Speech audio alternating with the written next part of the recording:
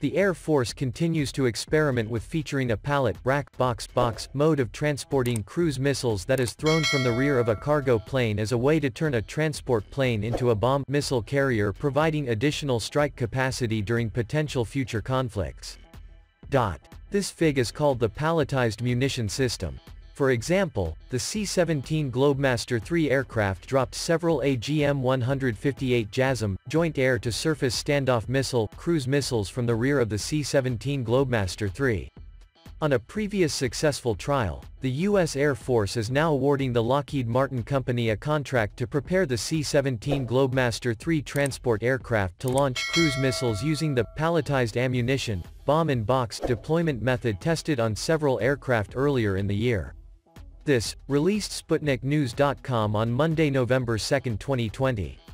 The defense contracting giant announced last week that it had received a $25 million contract from the U.S. Air Force's Office of Strategic Development Planning and Experiments SDPE, to further develop the palletized munitions pilot campaign. The contract aims for system-level demonstrations by 2021 to really fine-tune what is possible with this new weapon launch design. Although the palletized munitions program is relatively new, it moves very quickly, said Lockheed Martin Advanced Strike Systems Director Scott Calloway in a release.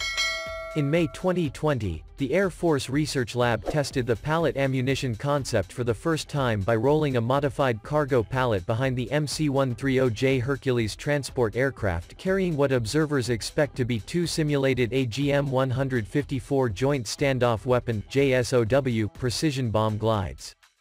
Closing parenthesis dot. A second test in September 2020 saw a pallet carrying at least one AGM-158 simulated joint air-to-surface standoff missile JASSM cruise missile launched from behind the C-17 Globemaster III transport, the aircraft now selected as the base on which to expand the program.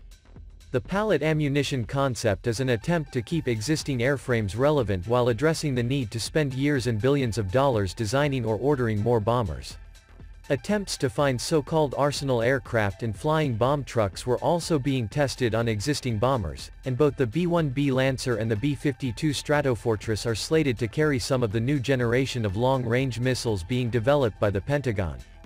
Palletized munitions capability could enable various airlifters to deploy multiple weapons en masse via a standalone roll-on, roll-off palletization system, and could offer Air Force an alternative way of bringing more mass ammunition, bombs to the battlefield, said Dr. Dean Evans, program manager for the SDPE pallet ammunition experiment, in September 2020. This isn't the first time a cargo plane has been modified to have offensive capabilities, the U.S. military operates several versions of the C-130 Hercules that can fire machine guns, rotary cannons, and even a 105mm howitzer at ground targets. Previously was the AC-47 Spooky, a C-47 transport aircraft modified with a similar weapon. In the two trials that have been carried out, the aircraft carried the AGM-158 JASSM cruise missile and on other occasions the AGM-154 Joint Standoff Weapon JSOW missile. C-17 Globemaster III is a large military transport aircraft that was developed for the United States Air Force USAF, from the 1980s to the early 1990s by McDonnell Douglas. The C-17 carries forward the name of two previous piston-engined military cargo aircraft, the Douglas C-74 Globemaster and the Douglas C-124 Globemaster II. The C-17 commonly performs tactical and strategic airlift missions, transporting troops and cargo throughout the world. Additional roles include medical evacuation and airdrop duties. It was designed to replace the Lockheed C-141 Starlifter, and also fulfill some of the duties of the Lockheed C-5 Galaxy, freeing the C-5 fleet for outsize cargo. Boeing, which merged with McDonnell Douglas in 1997, continued to manufacture C-17 aircraft after the merger. The transport is in service with the U.S. Air Force along with Air Arms of India, United Kingdom, Australia, Canada, Qatar, United Arab Emirates, NATO Heavy Airlift Wing, and Kuwait. The final C-17 was completed at the Long Beach, California plant and flown on 29 November 2015.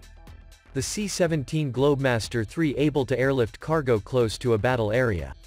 The size and weight of U.S. mechanized firepower and equipment have grown in recent decades from increased air mobility requirements, particularly for large or heavy non-palletized outsize cargo. It has a length of 174 feet 53 meters and a wingspan of 169 feet 10 inches 51.77 meters. The C-17 is powered by four Pratt & Whitney F117PW100 turbofan engines, which are based on the commercial Pratt & Whitney PW2040 used on the Boeing 757. Each engine is rated at 40,400 lbf 180 kilonewtons of thrust. The engine's thrust reversers direct engine exhaust air upwards and forward, reducing the chances of foreign object damage by ingestion of runway debris, and providing enough reverse thrust to back the aircraft up on the ground while taxiing. The thrust reversers can also be used in flight at idle reverse for added drag in maximum rate descents. In vortex surfing tests performed by two C-17s, up to 10% fuel savings. The AGM-158 JASSM Joint Air-to-Surface Standoff Missile is a self-launched air-launched cruise missile developed by Lockheed Martin for the United States Armed Forces. This missile is a large, stealthy long-range weapon with a 1,000-pound, 454 kilograms, armored penetrating warhead. The missile completed testing and entered service with the U.S. Air Force in 2009, and entered overseas service in Australia, Finland and Poland in 2014. The long-range version of the missile, AGM-158B JASSM-ER Joint Air-to-Surface Standoff Missile Extended Range, entered service in 2014. As of September 2016, Lockheed Martin has delivered 2,000 total JASSMs consisting of both variants to the USAF. AGM-154 Joint Standoff Weapon JSOW. The AGM-154 Joint Standoff Weapons JSOW, are part of the low-cost air-to-surface missile family manufactured by Raytheon. The JSOW family includes a wide variety of weapon variants. The AGM-154A is the base variant equipped with 145 BLU-97 sub-ammunition. The missile variant is capable of striking base bunker aircraft, trucks, armored vehicles, and surface-to-air missile system platforms. The AGM-154A1 is an improved version of the AGM-154A, which also carries the BLU-111 warhead.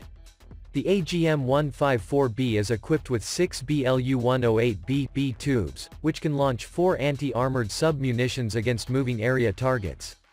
The AGM-154C version uses a 500 pounds Broach multi-stage warhead against fixed-point targets. The missile variant was permitted to full-stage production in December 2004 and reached initial operational capability in February 2005. The JSOW-C1 is a modified variant of the JSOW-C. The U.S. Navy successfully completed its first C-1 free flight test in August 2011. The C-1 achieved initial operational capability in 2016.